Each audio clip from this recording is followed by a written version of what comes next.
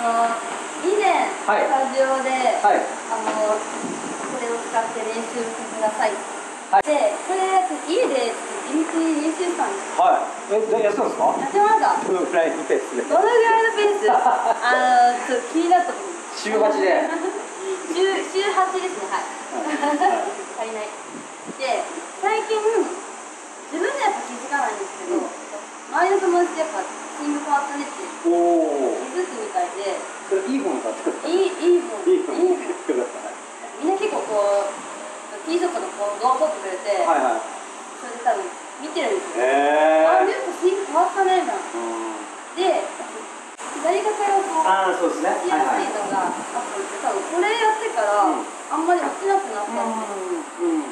言われますうん。あの確かにこうなん。ていうのかな普段のゴルフよりすごい高いところにあるから、うん。うん。ちょっとでも下がっていっちゃうとすごい手前叩いちゃうん。でうなん。ではい下叩いちゃうん。で多分それがこう少しレベルになってきたのかなっていうところがあるのかなであとその僕さっきちょっとあのドライバーをまあさっきも言ったけど初めてこう見させてもらって、でアイアンも含めてすごいねなんかコンパクトなんですよね。びっくりしたのが、え、なんこっちハーフスイング練習かなと思うぐらいはい。小さい時からで、はい。でこドライバーでも多分上がっちゃうんだろうなと思ったら、ドライバーも意外といいとこ上がってたので、もしかしたらこの短いクラブだと振り回そうとしないじゃないですか。はい。で体のこう回転で打とうとするから、意外とそれであのなって変わっていったのかなっていうところも前回からだいぶこう変わってるんで、あ結構成果がね出たのかなって感じです。よね。で週8の頃から。はい、地道なね、はい。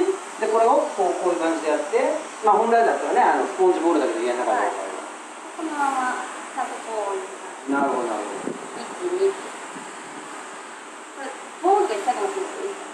そんな練習してたんならちゃんと当たるでしょ おおうまいうまいうまいうまいいいじゃないいいじゃないですかなるほどなるほど非です多分ダブんないようにとってたと思うんで、はい。もちろんあのでも本当にそうやってやってあの地道にねあのでなかなか練習行くのも大変だと思うんでこういうので近くでねあの素振りだけでもいいし、やってることによって明らかにスピード変わってきてるから非常にいいなと思います。あとは、えっと、例えばちょっと言ったじゃないですか、はい。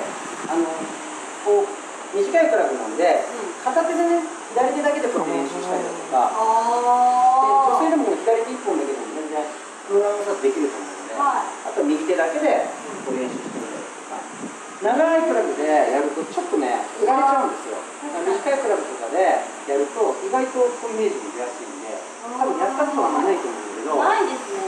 であの結構今ほらプロゴルファーとかも片手アプローチなんかそうですけど片手打ちっていうやつからやっていくんですけど。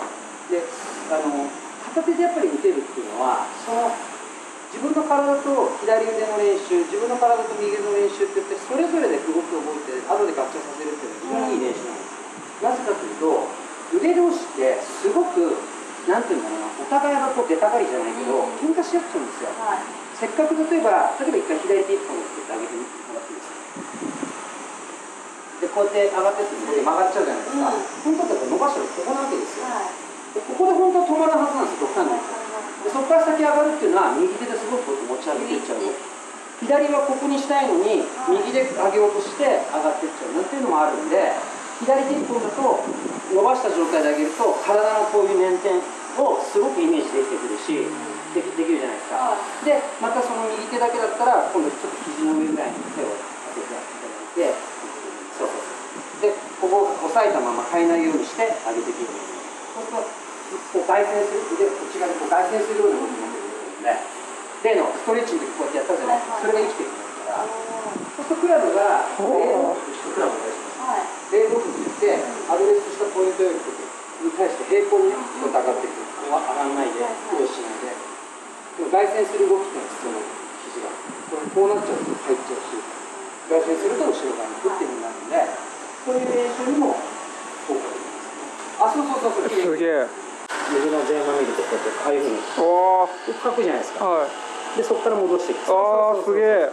ちょっと相当うまそうですうわー羨ましい。イメージは。イメージはイメージはねあるんですよ。でも現場行くとダメージになってるんですよねすいません。そんな技まで。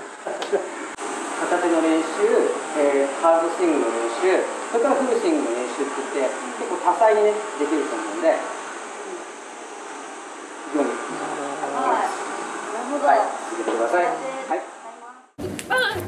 ンゴルフニュースのお時間です。はい。9月10月のツインゴルフオープンはこちら。左のテロップに記載されてます。9月23と10月14日。この2つの会場はアマチュアゴルフワールドカップ。以前ゆっこが出場したハンディキャップを使った日本代表を選ぶ試合の予選会も兼ねてますのでハンディキャップを持っている方はぜひ参加してください。10月7日の砦国際ね。以前宝塚で好評だった100切りをやりますので、あめっちゃ好評だったよ。なんか応援してくれてる人たちがいっぱいいてみんな楽しそうでした。はい、100を切りたいという方はぜひご参加お待ちしてます。ガンガン応援していくのでぜひはい。応募してください。はい。バイバイ。バイバーイ